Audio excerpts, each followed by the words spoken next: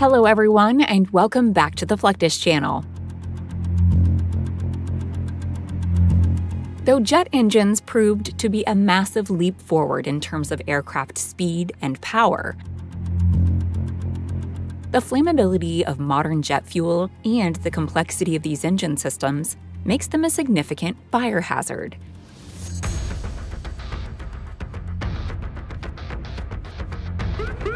In the event an aircraft crashes or catches fire on a runway, most airports and military bases have firefighters and high tech crash trucks on site.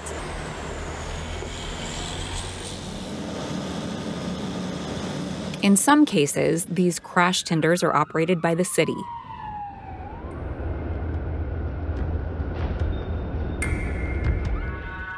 In others, they will be under the direct control of the airport.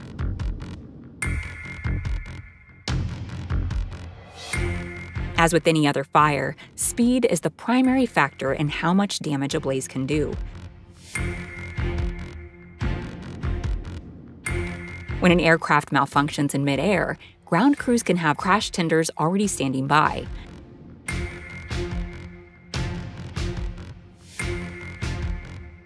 When the fire or crash is unexpected, first responders will immediately drive out to the affected plane.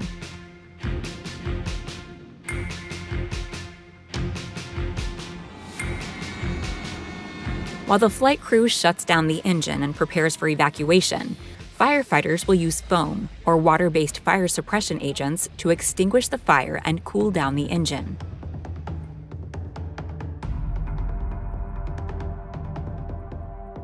At the forefront of the battle against engine fires and other aircraft related issues is the modern crash tender.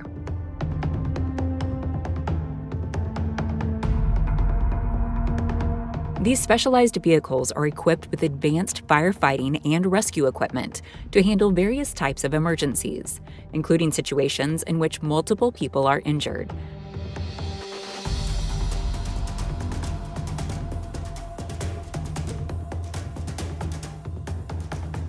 Though they vary from manufacturer to manufacturer, airport crash tenders are typically large, robust vehicles with at least one high capacity spraying mechanism.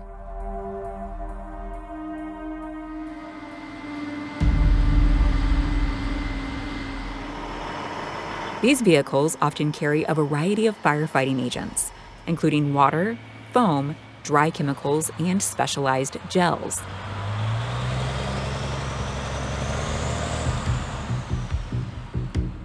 The choice of agent depends on the type of fire or emergency being addressed.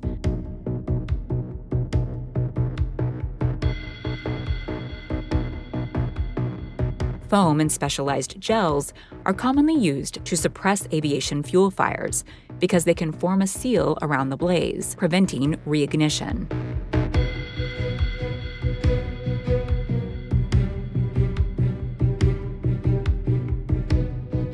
Though the U.S. military has many air bases with their fleet of crash tenders,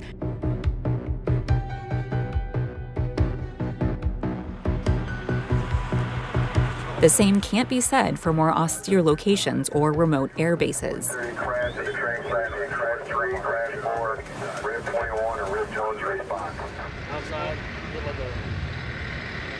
U.S. pilots, ground crews, and maintenance personnel are well trained in how to deal with disabled or damaged aircraft.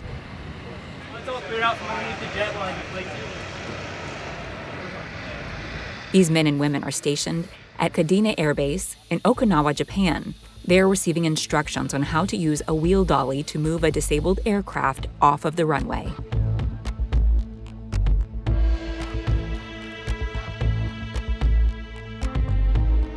Regardless of what caused the aircraft's problem, it's essential that the runway be cleared as soon as possible so as not to pose a risk to any other planes that might still be in the sky.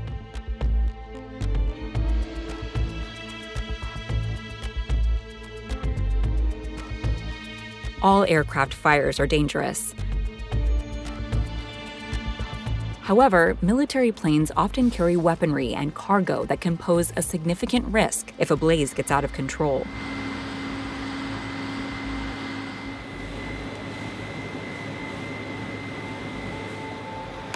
To ensure that firefighters are able to address these problems as quickly and efficiently as possible,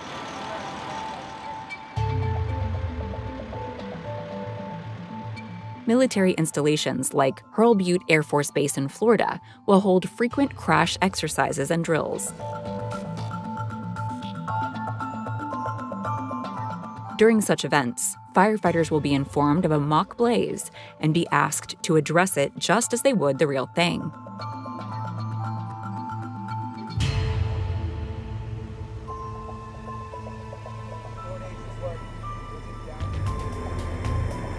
This means loading into the fire trucks and crash tenders and driving across the airfield to the crash site.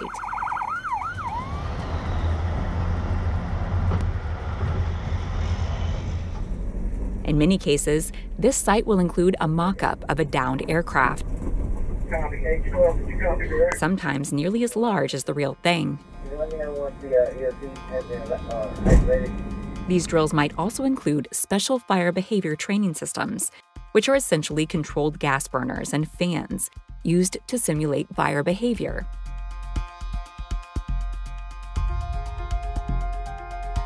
The most authentic of these simulators can replicate the spread of fire, heat release rates, and smoke production.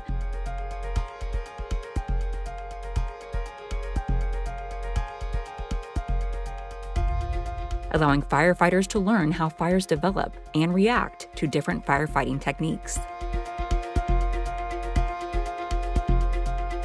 Fortunately, crash tenders allow firefighters to engage the blaze inside the vehicle.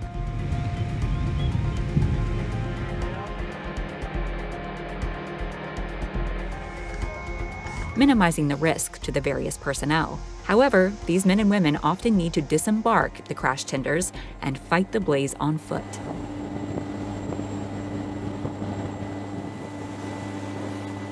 This is especially true of situations where large amounts of fuel have caught fire, necessitating multiple angles of attack.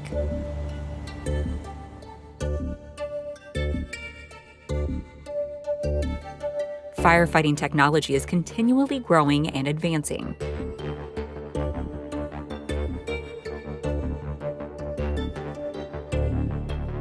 The United States military spends millions of dollars annually to ensure its teams have access to the latest and greatest tools, vehicles, and anti fire agents. In 2014, Holloman Air Force Base in New Mexico became the first to receive a P 34 Rapid Intervention Vehicle. Despite costing far less than a traditional fire engine or crash truck, this multi purpose vehicle is up to 3.5 times more effective.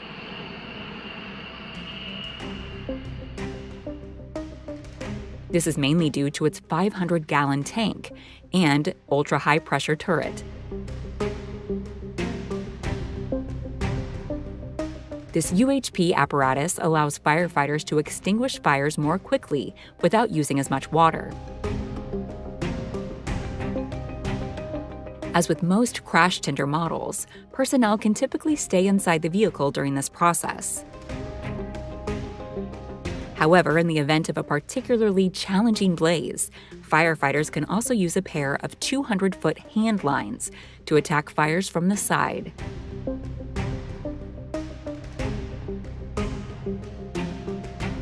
Uh, it doesn't have a thousand gallons, that's 400 gallons, but what it does have and it uses is smaller droplets of water, kind of like a pressure washer. And all that water comes out of here. Now that comes out at a high rate of pressure where you're going to use tiny droplets and it's going to use that pressure to drive through the heat and get towards the seat of the fire.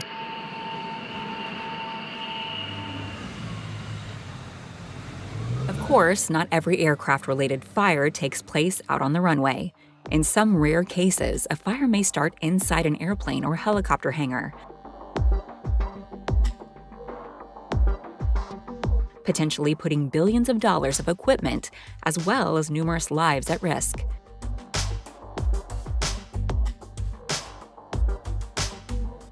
Many military hangars are equipped with special foam suppression devices to prevent this from happening. These ceiling mounted systems utilize special foam agents and delivery systems to create a foam blanket that suppresses the fire and prevents it from spreading.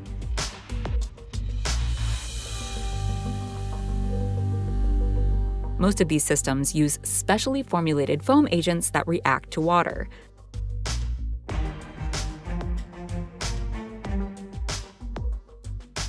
As soon as the suppression device is initiated, the water will begin flowing, dumping thousands of gallons of foam into the hangar, effectively suffocating the flames.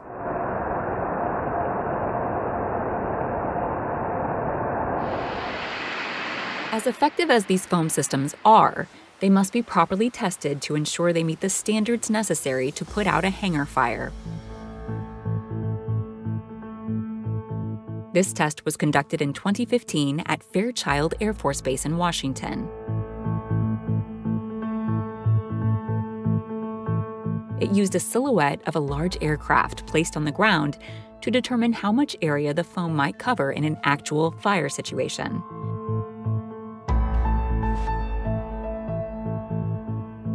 According to the technicians, the test would be considered a failure if the foam system failed to reach at least 90% coverage.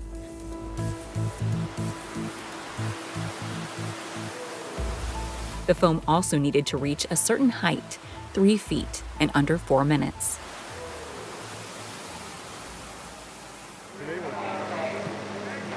Aircraft hangar fire suppressing foam systems are typically equipped with fire detection systems that use various sensors, such as heat detectors, smoke detectors, or flame detectors.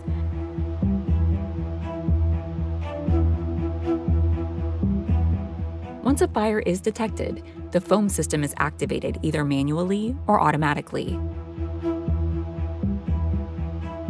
The strict four minute benchmark exists to account for any time lost between when the fire ignites and when the foam begins.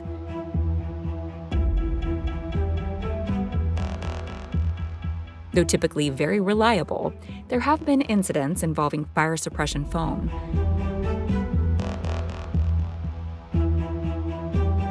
For instance, in 2014, anti fire foam accidentally spread over a wide area at the Oklahoma Army National Guard base in Tulsa after a test of the base's alarm and safety system. Not only did it completely fill the hangars, but it spilled out onto the tarmac, burying nearly a dozen Black Hawk helicopters.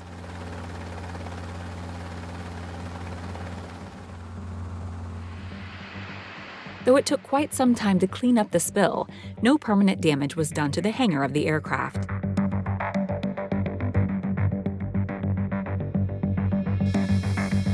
Indeed, many foam agents are formulated to be biodegradable and have very low toxicity.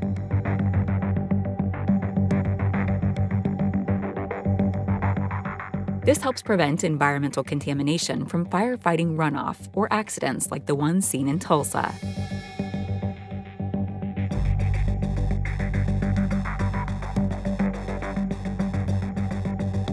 The only other major drawback to foam fire suppression is that it can make search and rescue operations very difficult for fire crews. Along the, along the wall.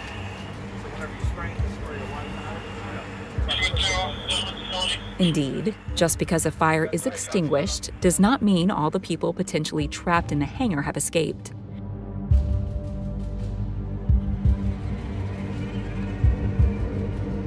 That's why it's so crucial that firefighters train alongside these foam systems to determine how they can best enter a building and locate injured personnel.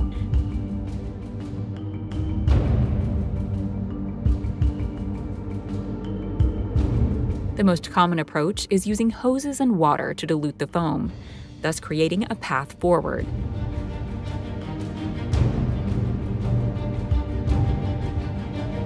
And since the foam is specifically designed to cut off oxygen, it's imperative that these men and women work fast to save their comrades.